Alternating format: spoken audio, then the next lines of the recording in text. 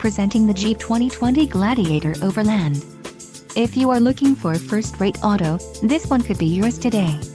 This vehicle comes with a reliable six-cylinder engine, connected to a smooth shifting automatic transmission.